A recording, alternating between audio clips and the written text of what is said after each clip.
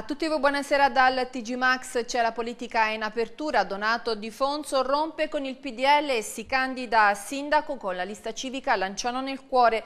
Dure critiche all'amministrazione Paolini, è mancata una guida autorevole. Lo aveva deciso un anno e mezzo fa e oggi l'ufficializzazione davanti ad una folta platea gremita di sostenitori. Donato Di Fonso, già assessore regionale alle attività produttive con la Giunta Pace ed ex presidente della fiera, si candida a sindaco alle prossime elezioni amministrative di metà maggio. Lo fa con una lista civica, Lanciano nel cuore, in palese rottura con il suo partito, il Popolo della Libertà. È una scelta di cuore ma anche è una scelta politica. Rompere quei meccanismi del della politica, rompere quei meccanismi ormai vecchi, triti e ritriti e soprattutto dobbiamo ricordare a tutti, e lo ricordo anche ai tanti politici, che prima viene la propria città e poi vengono i propri partiti. Ecco perché questa scelta di cuore è una scelta che insieme a una squadra, insieme a tanti amici, siamo disposti a correre. So ne sono consapevole che è una scelta difficile, è una scelta ardua, però è una scelta fatta con passione, è una scelta fatta con tante motivazioni, è una scelta per guardare il futuro di questa città. E non sono mancati espliciti riferimenti all'amministrazione uscente e al sindaco Paolini, coordinatore cittadino del PDL, che lo ha recentemente rimosso dalla presidenza di Lanciano Fiera. Una ferita ancora aperta per Di Fonso che però rivendica la propria rettitudine. Di me, ha detto poi agli intervenuti, non leggerete mai sulle pagine della cronaca che ho preso un solo euro. Io non tradirò mai questa città, l'ho già dimostrato con la fiera. Non tradirò mai questa città per chissà che cosa, per chissà che posto che mi vogliono mi debbano dare. Se lo mettano per in testa, tutti quanti. A Lanciano in questi anni è mancata una guida autorevole in Calza di Fonso, che non è stata in grado di attrarre fondi per lo sviluppo della città. E poi dure critiche alla ZTL in centro storico, via le telecamere, dice Di Fonso, e stoppa i consigli comunali e i provvedimenti dell'ultima ora. Il sindaco non è soltanto il sindaco in scadenza, è un'amministrazione in scadenza, non possono fare certe scelte, lasciano giustamente, legittimamente, da un punto di vista etico-politico, che queste scelte le prenda la nuova amministrazione, le prenda il nuovo sindaco. Ma come anche a tante, tante. Primarie PD a Vasto ufficializzate le candidature, sarà sfida tra il sindaco Luciano Lapenna e il presidente del Consiglio Comunale Giuseppe Forte. A mezzogiorno nella sede di Piazza del Popolo è stato il commissario cittadino Camilo D'Alessandro a raccogliere le due adesioni. L'appuntamento è fra due settimane. La cronaca, un 78enne è morto in un incidente stradale sulla statale 553 Silvi Atri. La vittima è Vincenzo Pallini, originario di Atri ma residente a Montesilvano. L'automobile dell'uomo si sarebbe ribaltata dopo essersi scontrata con un'altra autovettura. A causa delle gravi lesioni riportate dall'anziano nello scontro, ogni tentativo di rianimarlo da parte degli uomini del 118 è risultato inutile. Sono invece rimasti feriti in modo lieve gli occupanti dell'altro veicolo trasportati all'ospedale di Atri. Il luogo dell'incidente è lo stesso in cui la settimana scorsa ha perso la vita un 33enne di Pescara. 13 comuni e la provincia di Chieti non vogliono l'impianto di estrazione di gas della Forest Oil. Domenica 13 marzo, assemblea pubblica a bomba con gli amministratori locali e consiglieri regionali.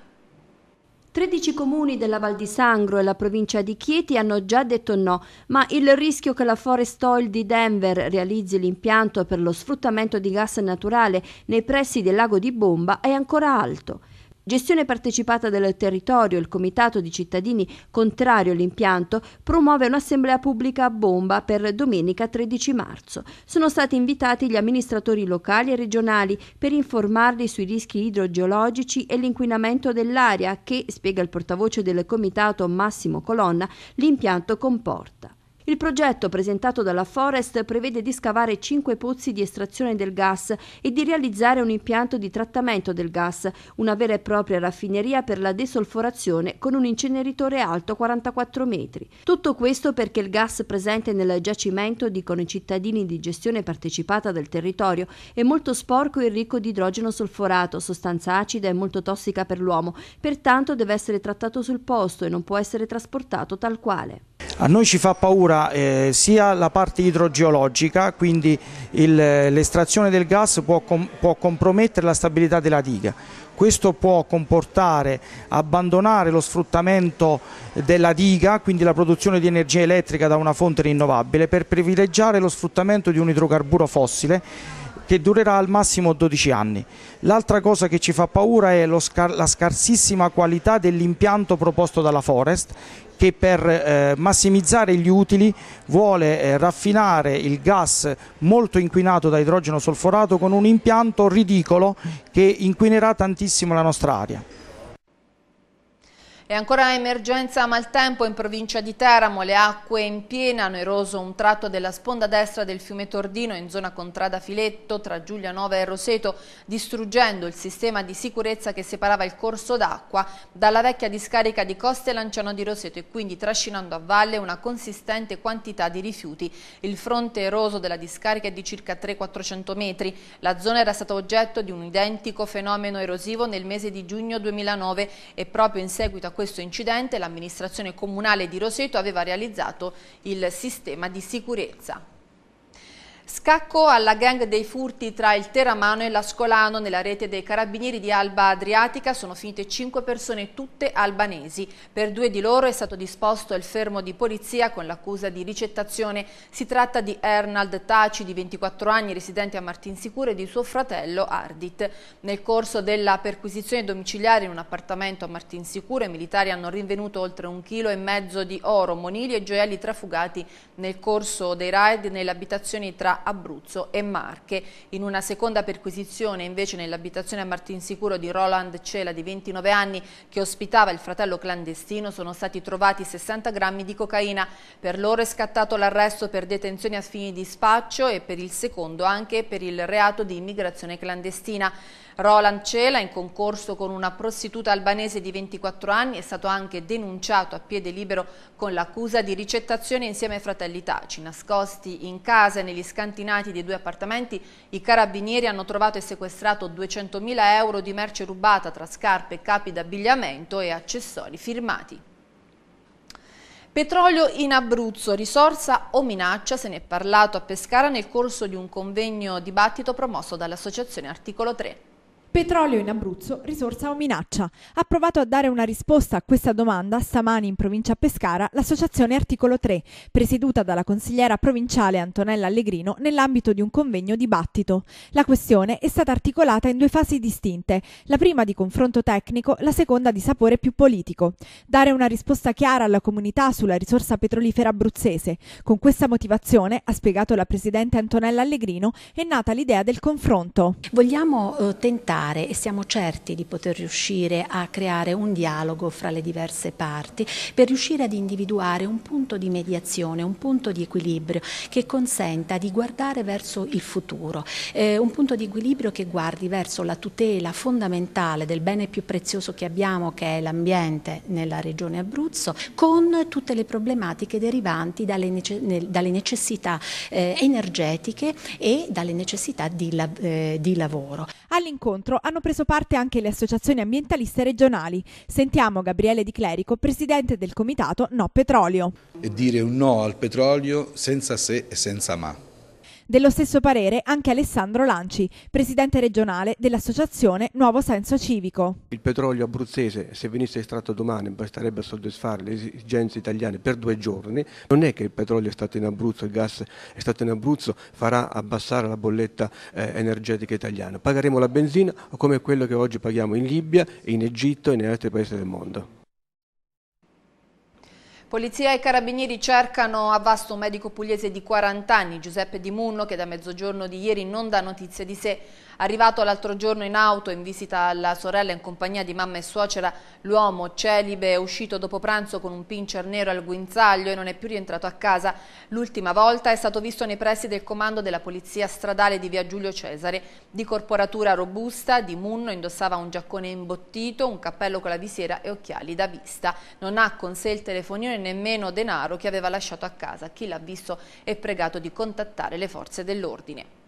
Vigili del fuoco impegnati a San Salvo a domare l'incendio che ha semidistrutto il mobilificio Fiore in contrada Marinelle. L'incendio si sarebbe sviluppato partendo dagli uffici per estendersi all'intero edificio. Sul posto hanno operato quattro squadre di vigili dei distaccamenti di Vasto e Ortona. I danni maggiori hanno interessato la struttura. I pompieri sono ora al lavoro per verificarne l'agibilità. Nell'edificio non c'erano molti mobili perché l'attività era in dismissione. Manifestazione antifascista a Lanciano per liberare le città dal razzismo e dal neofascismo. Riccardo Di Gregorio di Rifondazione Comunista, segretario provinciale. Sì. Anche a Lanciano si ribadisce l'antifascismo e soprattutto la lotta al razzismo. Sì, sempre. Io credo che queste manifestazioni dovrebbero far capire alle persone, ai cittadini che i, valori della nostra nazione, del nostro paese si basano sull'antifascismo e soprattutto sull'antirazzismo, soprattutto in una situazione geopolitica di questo tipo che vede comunque una migrazione massiccia da parte del Nord, del Nord Africa. Noi qui come in tutte le città abruzzesi ci saremo sempre, abbiamo fatto un coordinamento antifascista sul Mona il mese scorso, crediamo di, di portare in piazza tantissime persone. Oggi nonostante il maltempo sono presenti 200-300 persone a ribadire questo concetto in una città importante, medaglia, al valore, medaglia d'oro al valore militare come Lanciano, ma così come a Chieti dove dimenticano di, di, di ricordare i martiri dell'11 febbraio e noi siamo stati presenti e lo saremo sempre. Qui ricordiamo i martiri ottobrini e li ricorderemo sempre in ogni parte dell'Abruzzo e in ogni parte del paese. Grazie.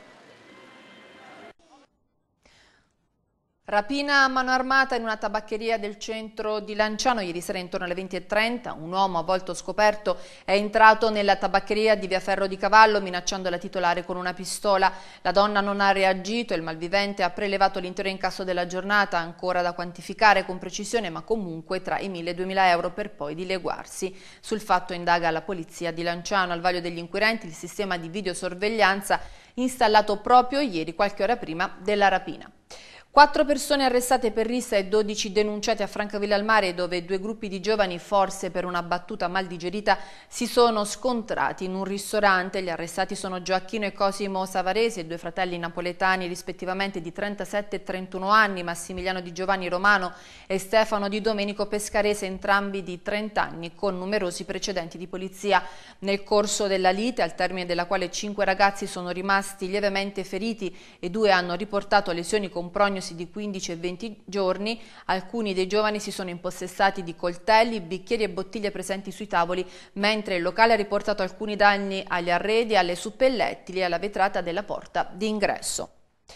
A Pescara il Comune ha previsto delle agevolazioni per il pagamento della Tarsu in caso di apertura di nuove attività in favore delle famiglie che vivono un disagio economico le nuove attività economiche e chi ha problemi sul lavoro. Per queste categorie il Comune di Pescara ha previsto delle agevolazioni per il pagamento della Tarsu, la tassa sui rifiuti. Lo ha annunciato oggi l'assessore alle entrate Massimo Filippello, spiegando che queste decisioni sono state prese nelle more dell'adozione del nuovo regolamento, sospesa in attesa delle modifiche governative. Per le nuove attività verrà introdotta una riduzione del 50% per i primi tre anni di lavoro, ma, ha spiegato Filippello, deve trattarsi davvero di nuove attività. Abbiamo previsto una riduzione della TARSU per i primi tre anni di attività per coloro che intraprendono una nuova vera attività, cioè coloro che effettivamente non fanno una cessazione di una vecchia attività per aprirne subito immediatamente una nuova, nemmeno per coloro, non vale per coloro che cessano l'azienda e ne aprono subito un'altra, in caso di conferimento d'azienda, di donazione, deve essere una vera e nuova attività, quindi vale per i primi tre anni. Abbiamo pensato ai nuclei familiari che sono in uno stato di disagio, quindi abbiamo pensato per coloro che, per cui l'unico portatore di reddito nel nucleo familiare si trova in, eh, in cassa integrazione oppure percepisce un'indennità di eh, mobilità o di disoccupazione, una riduzione del 50% della TARSU rapportata ai periodi in cui si trova in questa situazione di disagio lavorativo. Oltre 500 cartucce calibro 12 sono state trovate sequestrate dai carabinieri nelle campagne intorno a Città Sant'Angelo in via Tamerici. Erano conservate in tre cartucciere in una borsa di tessuto e sono di marche diverse ma tutte riconducibili a materiale utilizzato dai cacciatori. I militari stanno cercando ora di risalire al proprietario. E siamo alla pagina sportiva, in Serie B nel pantano dell'Adriatico Cornacchia termina 0-0 la gara tra Pescara e Regina.